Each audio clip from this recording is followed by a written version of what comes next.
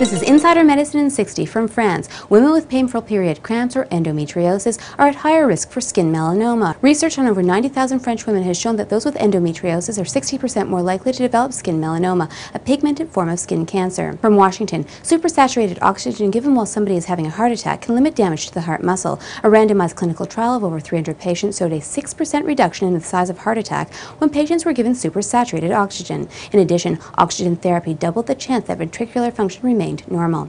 From Chicago, nearly one in three patients with breathing problems like asthma or COPD don't use their inhalers properly. A research study of over 200 patients, which evaluated the use of inhalers, showed that one third of patients failed to get their medication to their lungs. This number rose to over 50% in those who were not given proper instructions on how to use inhalers. And finally, from New York, children with colds should wait a few weeks before having a general anesthetic. A study has demonstrated that children who received general anesthetic within two weeks of having a cold were two times more likely to experience spasm of the larynx, three times more likely to have a cough, and and twice as likely to have oxygen desaturation.